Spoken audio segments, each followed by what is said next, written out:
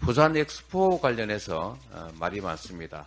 어, 말을 아껴왔지만 어, 정부가 노력했을 것으로 생각합니다.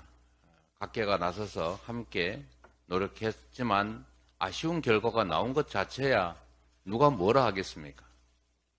문제는 국민을 결과적으로 속이고 우롱했다는 것입니다. 대체적으로 어, 국민들은 예상했습니다. 매우 어려운 에, 상황이다. 그리고 외교전에서 실패하면서 특정 국가들과 이 소위 척을 지면서 더 상황이 나빠지고 있다는 것을 모두가 예측했습니다. 그런데 막판 대역전극 운운하면서 국민들에게 잔뜩 기대를 부풀리게 했는데 이게 무슨 축구 경기도 아니고 기분 좋자고 하는 게임도 아니지 않습니까? 국가의 주요 정책을 두고 특히 부산의 미래를 두고 하는 일에 이렇게 진정성 없이 장난하듯이 접근했어야 되겠습니까? 만약에 이런 결과를 전혀 예측하지 못했다면 정말로 막판 대역전극이 가능할 것이라고 믿었다면 무능한 것입니다. 알고도 그랬다면 참으로 나쁜 짓이죠.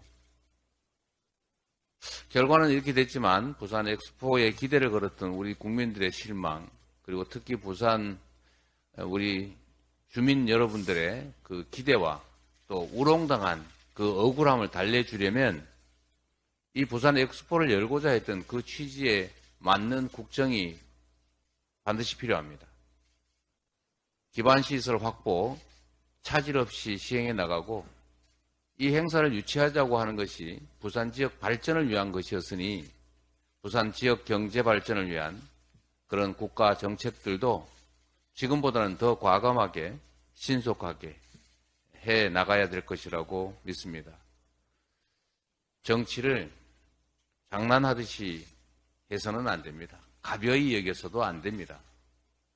이 문제에 대해서는 우리 정부 여당이 심각하게 생각하고 우리 국민들이 받은 상처 어, 그리고 우롱당한 이 억울함을 반드시 해소해 주기 위한 가시적인 조치가 있어야 된다는 말씀을 드립니다.